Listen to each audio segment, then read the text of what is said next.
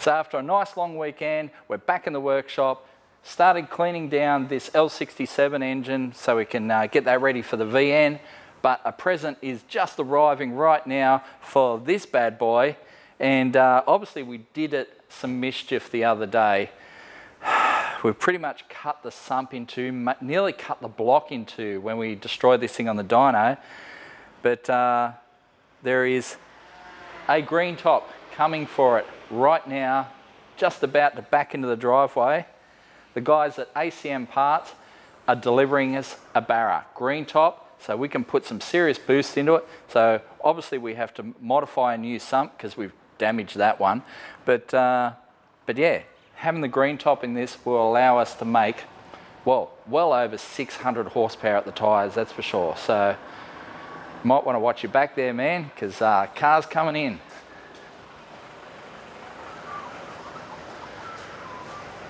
Look at that. Oh, wow, there's two barras there. Two barras. Keep coming.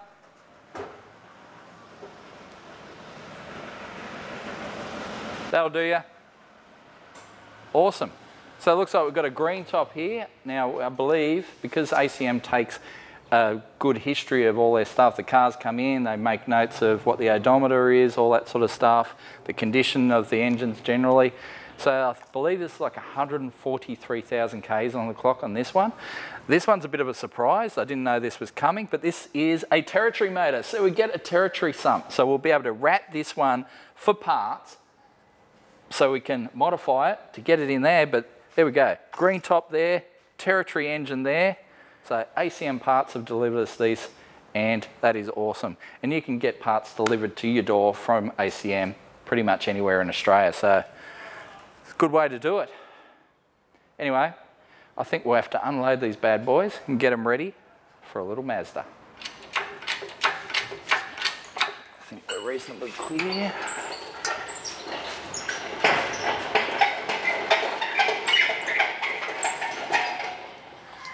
I'll drop that down in the center.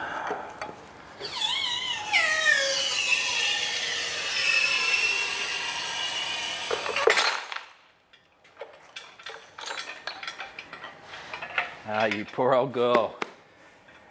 Never knew how good you had it. Now it's up for some punishment, but that's all right. We're not going to lean on it too hard. We'll give it 20. 20 would be fine. 25 is fine for him.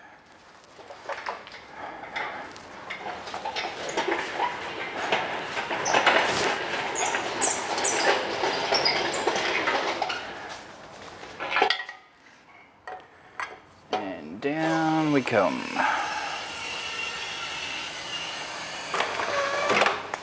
Well, there we have it. One green top to go in the car, one territory engine to wrap for parts. Best of both worlds. We'll get it going again real soon. So, we had a bit of an oopsie with our engine. And if you haven't seen that episode, you should go watch it because it's uh, pretty epic.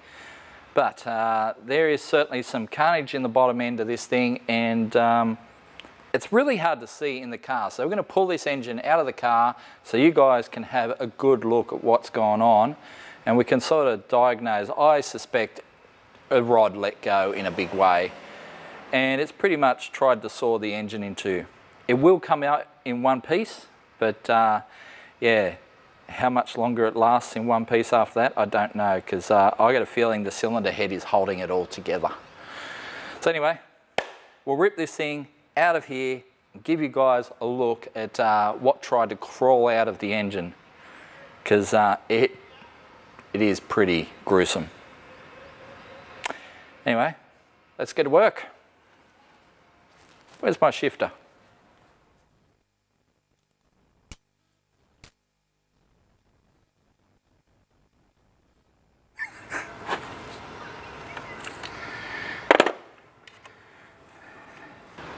So while we've got this thing in the air, let's have a brief look at uh, what's going on. I mean, seriously, it looks like something has tried to claw its way out of the engine. The sump's stuffed, so we're going to have to make a new sump, which kind of sucks, but uh, wow. That's seriously created some damage. I don't know how much coolant is in this, if any, but I suspect either way we'll still get a little bit damp. Fucking Jesus! That much.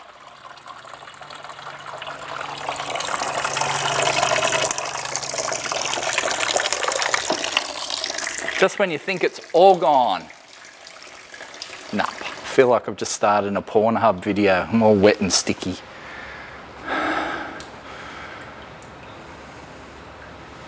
Don't search for that, kids.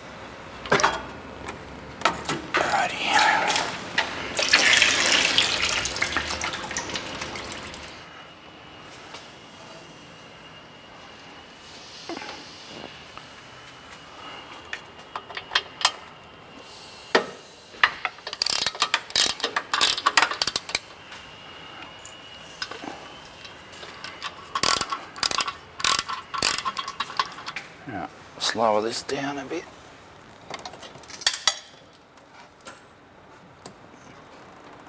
I think that's as far down as we can go.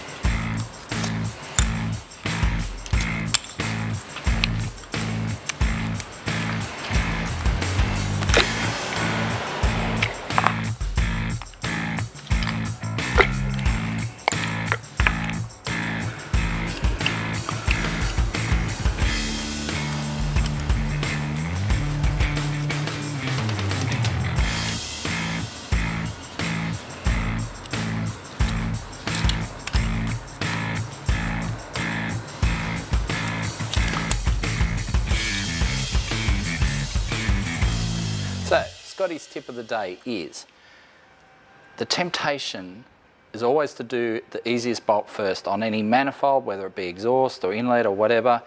Everyone goes for the easiest bolt first. That's wrong. Always leave the easiest bolt to last. That way, when you crack all the other ones, you can unwind them by hand because there's no load on them. But that last bolt, it's always going to have a bit of load on it because the manifold will come loose. So you take you do the easiest bolt last so you can get at it while you're trying to support it.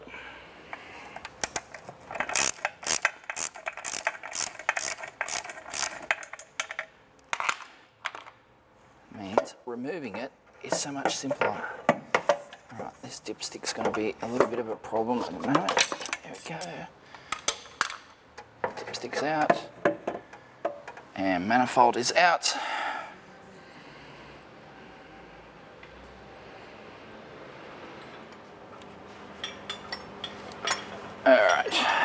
Good old straps.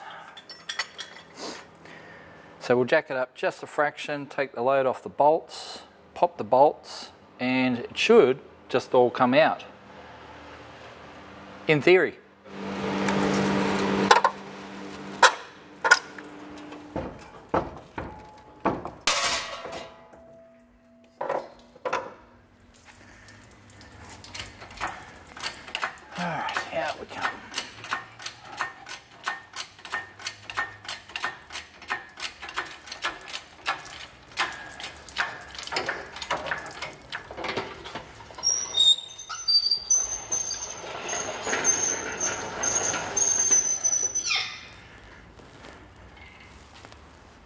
Wow.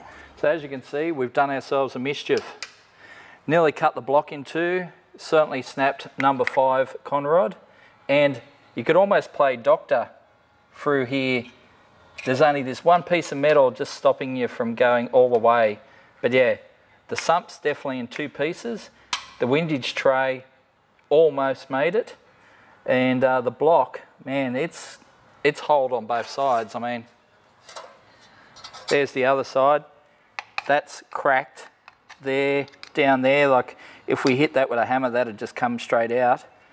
You can see where it, it's actually cracked all the way across to there too. So the only thing holding this together right now is the sump, I think.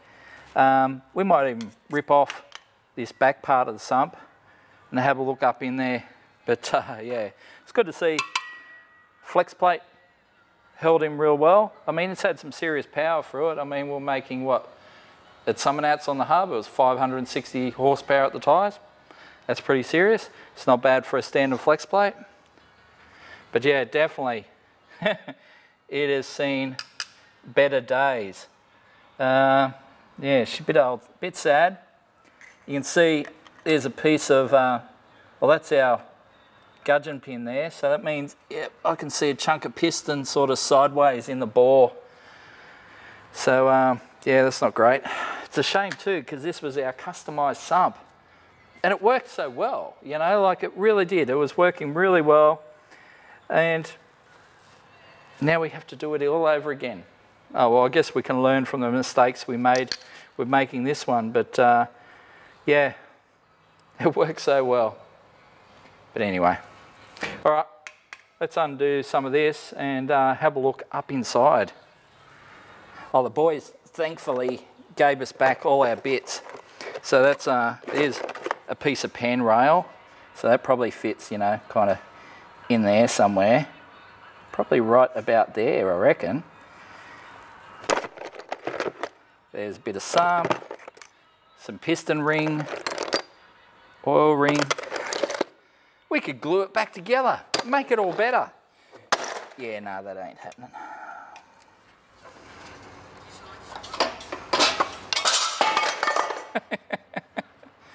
definitely two pieces. Oh, check it out. Wow.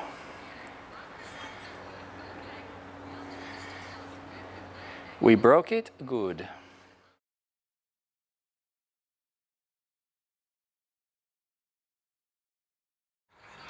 Oh wow, so it's not just, so it's not the piston that's sideways, it's actually the top part of the conrod is sitting up in the bore. Dr. Scotty in the house going to extract the conrod. So I'll roll this over. You can still hear that it's got some compression. So it's only the one cylinder that's dead. We could run it on five. Not really, but yeah. Wow. She really has hurt that rod. Come on, there we go. There we have it.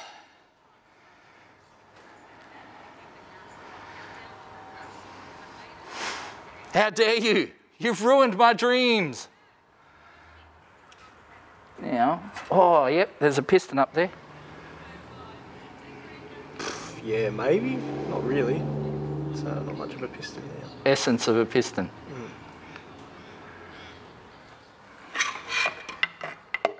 Whoop.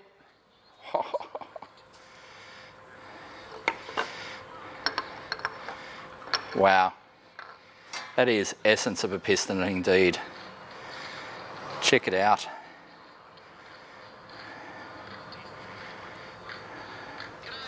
Smashed it good and proper.